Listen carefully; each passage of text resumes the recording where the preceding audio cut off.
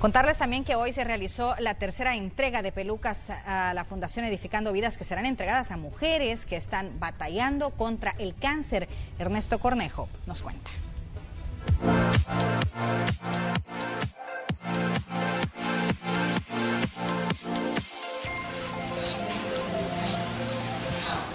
Paciencia y dedicación es lo que caracteriza a este grupo de mujeres, quienes durante horas elaboran pelucas. Su objetivo es mejorar la calidad de las pacientes que se someten a quimioterapias.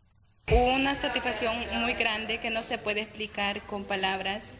Es algo, una experiencia que uno vive, eh, dar el servicio, tener ese gran corazón para ayudar a las personas tuve ya esa inquietud de ayudar. No es que tenga algún familiar o algo, creo que no es necesario que nos pase algo así para apoyar.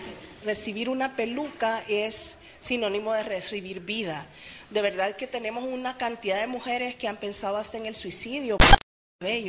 Y para nosotros como sobrevivientes, lo único que puedo hacer es darle gracias a ellas, de verdad.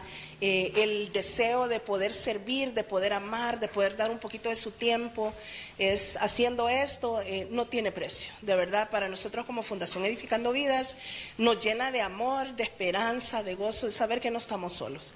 Gracias de verdad. Esta iniciativa cuenta con el respaldo de la Alcaldía de Santa Tecla a través de la Casa de la Mujer Tecleña.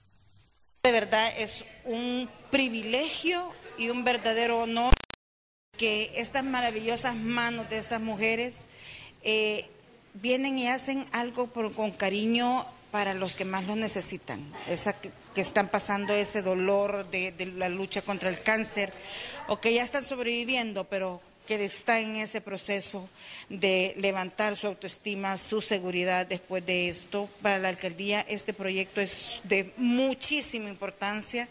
Le damos toda la atención debida, toda la promoción y el apoyo que se necesita. Red Salvadoreña de Medios también a esta causa.